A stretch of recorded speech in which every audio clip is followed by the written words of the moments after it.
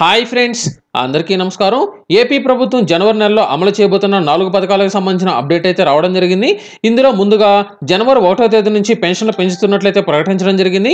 ప్రస్తుతం ఇస్తున్న పెన్షన్ రెండు వేల రెండు వందల యాభై రూపాయలను రెండు వేల ఐదు వందలకు అయితే పెంచడం జరిగింది. అంటే వృద్ధాప్య పెన్షన్లు కలిగిన వారు ఎవరైతే ఉన్నారో అంటే అరవై సంవత్సరాల పైబడిన వారు ఎవరైతే ఉన్నారో వారికి మాత్రమే రెండు వందల యాభై రూపాయలు అనేది పెంచి రెండు వేల ఐదు వందలకు అయితే చేయడం జరిగింది.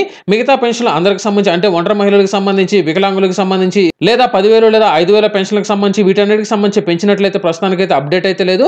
కాకపోతే ఎవరైతే వృద్ధాప్య పెన్షన్ కలిగి ఉన్నారో వారికి మాత్రమే రెండు వందల యాభై రూపాయలు అనేది పెంచడం జరిగింది. అలాగే జనవరి తొమ్మిదో తేదీన ఈబీసీ నేస్తం అనే కొత్త పథకాన్ని అయితే ప్రారంభిస్తున్నట్లయితే తెలియజేయడం జరిగింది. ఈబీసీ నేస్తం పథకం ద్వారా అగ్రవర్ణ కులాల్లోని పేద మహిళలు ఎవరైతే ఉన్నారో అంటే నలభై ఐదు సంవత్సరాల నుంచి అరవై సంవత్సరాల పైబడిన మహిళలు ఎవరైతే ఉన్నారో అటువంటి వారందరికీ పదహైదు వేల రూపాయల చొప్పున రానున్న మూడు సంవత్సరాల పాటు టోటల్గా నలభై ఐదు వేల రూపాయలు మహిళల యొక్క బ్యాంక్ ఖాతాకి అయితే వేయడం జరుగుతుంది. దీనికి సంబంధించి ఆల్రెడీ ప్రొవిజనల్ ఎలిజిబుల్ లిస్ట్ అయితే రావడం జరిగింది.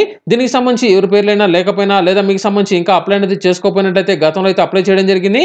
ఇలా ఎవరైతే అప్లై చేసుకున్నారో వారికి సంబంధించిన అందరి పేర్లు అయితే అన్ని గ్రామ వార్డు సచివాలయాల్లో ఈ మధ్య కాలంలో అయితే ప్రదర్శించడం జరిగింది. మీకు సంబంధించిన పేరు అనేది ఉందా లేదా వెంటనే మీరు గ్రామ వార్డు సచివాలయంలో వెంటనే ఉందో లేదో తెలుసుకోండి. దీనికి సంబంధించి మీ యొక్క పేరు అనేది లేకపోయినా మీకు అర్హత అనేది ఉండి లిస్ట్లో పేరు అనేది లేకపోయినట్లయితే వెంటనే అధికారులకు కనుక తెలియజేసినట్లయితే దీనికి సంబంధించిన వెరిఫికేషన్ ప్రాసెస్ అయితే ప్రస్తుతం అయితే స్టార్ట్ చేస్తున్నారు. జనవరి ఐదో తేదీ లోపల తప్పనిసరిగా వీరికి సంబంధించిన ఫైనల్ లిస్ట్ విడుదల చేస్తామని జనవరి తొమ్మిదో తేదీన ఈబీసీ నేస్తం పథకం ద్వారా పదహైదు వేల రూపాయలు మహిళల యొక్క బ్యాంక్ ఖాతాకు వేస్తామని అయితే తెలియజేయడం జరిగింది.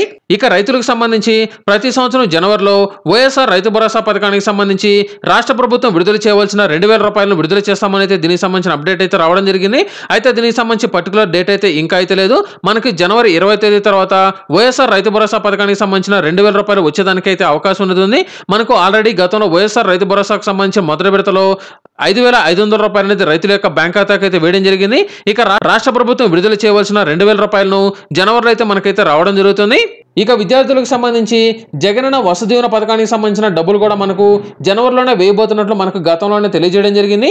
అంటే ఎవరైతే హాస్టల్లో ఉండి చదువుకుంటున్న విద్యార్థులు ఉన్నారో అటువంటి వారందరికీ జగనన్న వసతిదీవన పథకం ద్వారా విద్యార్థుల యొక్క తల్లి బ్యాంక్ ఖాతాకు ఈ డబ్బులు అయితే వేయడం జరుగుతుంది. అయితే మనకు జనవరి నెలలో వైఎస్ఆర్ రైతు భరోసా అలాగే జగనన్న వసతిదీవన పథకానికి సంబంధించిన డేట్ అయితే ఇంకా అయితే ఫిక్స్ చేయలేదు. మనకు ఈబీసీ నేస్తం మాత్రం జనవరి తొమ్మిదో తేదీన వేస్తున్నట్లు అధికారులు అయితే తెలియజేయడం జరిగింది. జనవరి ఒకటో తేదీ నుంచి పెంచిన పెన్షన్లు అమల్లోకి అయితే రావడం జరుగుతుంది.